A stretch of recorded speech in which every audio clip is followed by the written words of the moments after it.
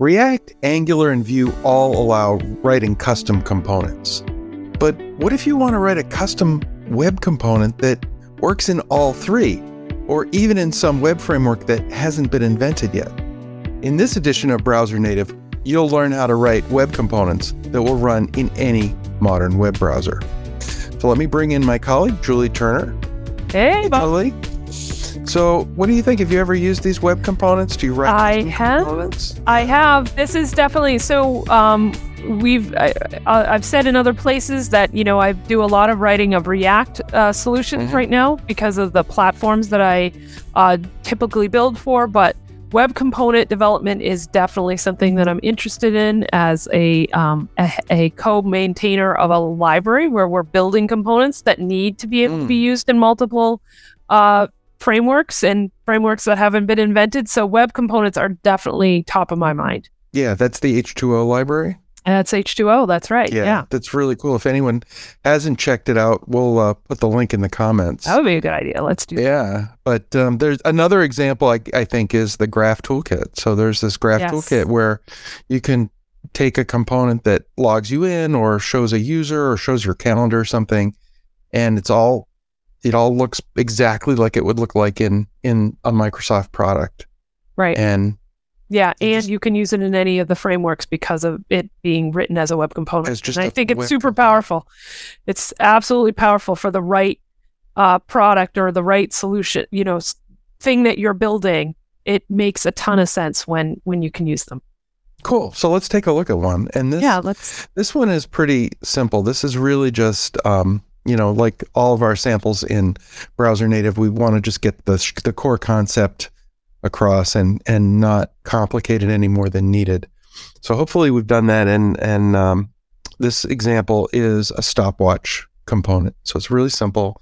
Uh, here you can see the HTML, and I'm bringing in a script here, um, stopwatch.js, and then um, I've got a button on the screen, and you'll see why in a minute because it's gonna it's gonna sort of force us to think about the fact that we want to isolate our components, and um, so you'll see what that is. And then here I am with three stopwatches on the page. So stopwatch, I can give it a color, I can give it some text or even a child, some some child HTML, and um, and what happens when it works is that you just get these little stopwatches. Um, again, they're dead simple, but you can start them and stop them just by clicking, and it just, you know, increments every second. So the problem is that this button up here is not supposed to look like those other stopwatches. Right. And, you know, it so it works, but the styling is wrong. So Yep. If we come over to style.css, you'll see that buttons are supposed to have a yellow border oh. Okay. and a black background and yellow text. And it, it does not look like that. So the reason it doesn't really is because the stopwatch has a style too. And the stopwatch says, oh, a button is supposed to look like this Right. you know so Mhm. so i think we'll deal with that in the next section Okay. But but let's go ahead and look at the code so the the the actual stopwatch.js so this is the script that was called from was invoked from the main page from our html page and the first thing it's going to do is bring in um, the style sheet its own little um, style sheet and I love this import statement. That was such an interesting thing to learn, is to be able to assert a type for an import. That was Yes. And it only, as far as I know, this only works for CSS now. I want one for HTML and for some other types. oh yes, Um, me too.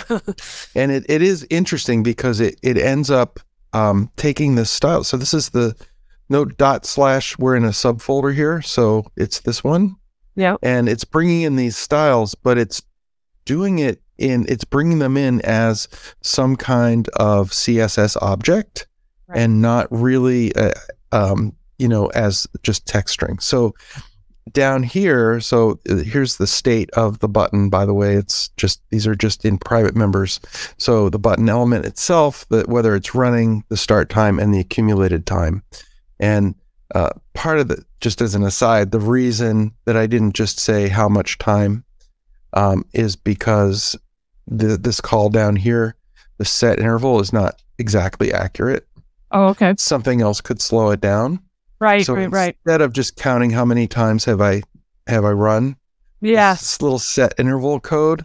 Mhm. Um, instead of that, and plus you could start and stop it, which would throw it off, right? I'm actually doing the math, uh, taking the time of day when it when it started, taking the current time of day, and so you can set the uh, the interval to anything you want, and that's how frequently it will update. Uh, but the that doesn't have anything to do with how long the time has been. That's Yeah, smart. exactly. Yeah, I So like you could that. update Okay. it more. You could update it. I think I have it updating every second, but you could do anything you want. So anyway, so here you see document dot adopted style sheets, and um, obviously this is different from adopting a child or adopting a uh, a use getting users adopted or whatever that's all right That's, adopted, those other yeah. SharePoint people do that but Yeah. um but here what we're doing is we're just taking the style sheet object and we it wants an array so we're putting it into an array all by itself Yep. and that's going to apply those styles to the document object so to the whole that's why this button up here ends up getting the wrong style because Right. I, you know, it the style tag up here or the the um, the link to the style sheet in the HTML got overwritten when when I called that. Um, Right. Because you said document dot. Okay. Yeah. Got it. in the next section we'll fix that. Right. So at that point we're going to just go in and create um, the DOM element that's actually the button. mm -hmm. Set the uh, inner text to be the time. Yep. Of zero format time of zero. Um, so I have a little format time function that just does the formatting. It's not nothing fancy.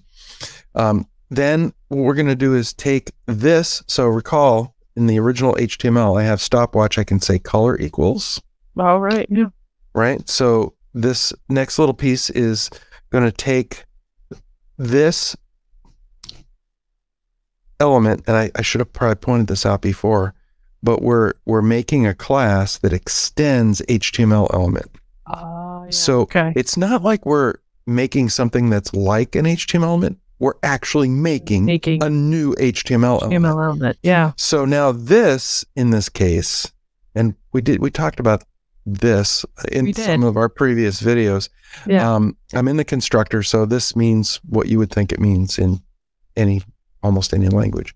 Uh, this is I can say this dot element dot style Yep. dot background color, and then this dot attributes is going to let me get to the attributes of my element that were Gotcha. actually Yeah. Yeah. on the page, right? Yep. So that's how they get the colors. And you could do that as much as you want. You could have a bunch of different attributes and do whatever you want. Mhm. And then we're going to append our button to ourselves, basically, as a child, yeah. Yeah. Okay. right? So, and and then there's this little piece of logic that does the um, when you click on it, it's going to start or stop the timer. And I won't go into the into the math of this, but it's kind of taking into account that you might have stopped and stopped, started a bunch of times, and that the interval might not be exact, and it's just remembering how much time um, to show. Okay. And then um, here's the format time function, which is again not specific to this topic. So whatever, it just makes it look like a time Yep. with hours, seconds, and minutes. And then down at the bottom is the magic, right? This Yeah. is what's saying, okay, you've got this class. It's it's derived from HTML element. Nope. So let's define that as a custom element. Okay. And that's where that stop dash watch comes from. And I believe you do the same thing. You put a dash in the name. Yep.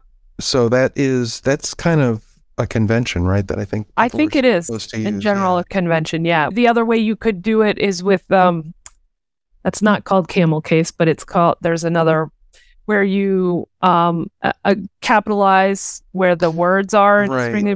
That's got. But I think that I of it. the if I same idea, but you'd put instead of capitalizing, you dash, right? Right, and I think that the the deal, if I remember correctly, is that the browser people or the standards have said that they will never put a dash in an actual HTML element. Oh, I So if you put a dash in Yeah. yours, then then, it's well, clearly custom. your element might conflict with my element in the future. Like if we both right. ended up making a stopwatch, but the standards committee is never going to make a stop dash watch. If they, you know, what if I decided to call it div or something, right? It would, and then a div came along and it messed everything up. So that's right. So this is where having some governance or some namespacing around components that you create is probably a good idea if you're going to adopt this. But yeah, can of, you exactly good point. Do as I say, not as I do. Don't call it stop dash watch. Call it your project dash something. Yeah. You know, Did you show where custom elements uh, was defined? custom elements is um is built into the browser. Right, but is it you're you're importing? It? Nope. It just knows that oh, it's on the window object. It's on the window object. Got it. Okay, So it's built Nice. into the browser and you can do that at any time. very cool. This is sort of going deeper to sort of explain how we're containerizing and encapsulating whatever is inside of our custom component so that we can be isolated from the rest of the page and what's going on in the rest of the page and specifically addressing that CSS styling issue that we had. I mean, I think let's dive in. Show me. Well, yeah. Show me the way. The first thing I want to say is that the shadow DOM that's here that we're going to look at is different from the one in React. Oh, that's a good point. Yeah. So I Yeah. got confused initially because I thought I know what the shadow DOM is, and I was like, no, you don't. it was it was the React shadow DOM, right. Their own version of it. thus proving that there are not enough metaphors in in English language, and we have to reuse them, and then everybody gets confused. I could make a comment about big companies reusing English words, but I won't. So let's just go to a yeah, I can't imagine what you're talking about. Or using the same name for two or three things is always always fun. That too. So let's take a look at the code. There we are. And the HTML hasn't changed. It's the same thing. So if you missed the previous episode, you might want to go watch it. But we've made a um, a custom web component called stopwatch. Hmm. and last time, the the style of the stopwatch overwrote the style on the page. So there's a Right. but a plain old ordinary button at the top. And now we fixed that. So the the button at the top, you know, okay, it might be a little ugly. I am not an artist, but it looks like I intended it to look, which is right. kind of ugly. And these still work independently and pick up the uh, the color off of the off of the attribute. Awesome. So the problem before was that we, if you recall, we had our regular style sheet, which has the yellow and black button right. that was called in by the page. And then here in the stopwatch subfolder, we have the styles that are used by the stopwatch. sure. And then the code imports that. And last time we were uh, um, attaching that uh, as the adopted style sheet of the document object. Right. Right. So the only difference here in the code is these lines here. We're going to create a shadow DOM and attach it to this object. So this again is our component, which is extending an HTML element. So it is an HTML element, Yep. but instead of attaching the styles to the document object, we're going to uh, make a shadow DOM attached to this element Mhm. and we'll call that shadow root. We'll remember that. And then we will apply the adopted style sheet to the shadow root. Right. Okay. And that's it. Well, there's no other change. It's just the, those lines of code are enough to tell the browser everything underneath of this shadow root element hmm is to be isolated Okay. Cool. from a CSS point of view, right? hmm Um, now I wonder if uh, if the SharePoint framework had had this, and if um, just a speculation, but imagine that the sequence had happened differently, Okay.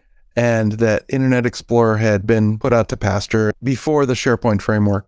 Do you think we would still have those CSS modules Mm. that are used in the SharePoint framework, where it puts a funny uh, GUID on the end of all the yeah, names? you and you have- certainly wouldn't need it in that case. I mean, it's it's actually an excellent use case. Um, w- to say that any web part that's being built or any component that extends the page in SharePoint or well Teams it's iframe so it's a little different but let Mm. let's just go with that theory right um it but if you're trying to play nice on the SharePoint page that your solution would be a web component is really interesting because you're right all of your CSS would then be isolated Mm. to the to the component that you've built.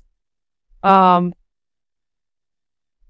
interesting, really Yeah. interesting. I I am mean, we almost not sure how to think about that. I could almost, I mean, now that you're talking, it's making me think, well, would SharePoint framework have even been designed the way that it, well, I guess it, it is very open though. You don't have to use React. I No, you don't right. have to use. I always React. write mine and you build a React component. And I was thinking, what if Oh, I built a web component? and I've but done it. I've you done can it. use It works. the No framework. That works. Okay. Yeah, yeah, you can do no framework, and you can uh, build a web component in share- using the SharePoint framework. At that 100% works.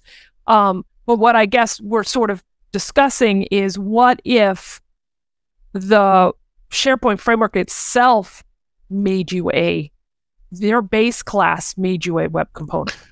Yeah. That, or even, I guess, with the technique that you use where you just say no framework and you make a web component and Right, but then I'm there. controlling you could it. you could yeah. you could use this shadow dom thing to prevent collisions on the page Oh, I 100% could and and and have done it and it works And great. And okay. and yeah, and it's something I'm I'm leaning towards in a direction of, but at the same time like the share that the engineering team could have taken that on and isolated you by default.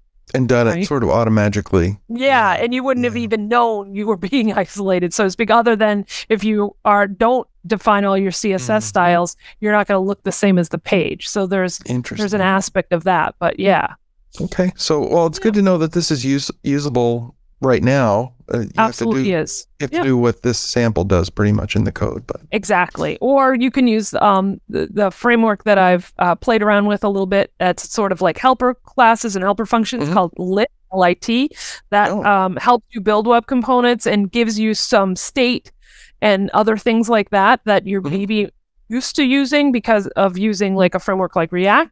That um, that is a really interesting uh, framework that you can take a look at. So i'd love to know if any of our viewers you know use the sharepoint framework do you think this might be useful um, would you like to see maybe some of julie's um, examples where she's actually applying this inside of sharepoint in particular that might be interesting so Yeah. love to hear from people in the comments Well, did you like this episode? We hope you did. Please give us a thumbs up and consider subscribing to the channel so you can be notified of any new episodes that are released. And I hope to see you at the next one. Thanks. thanks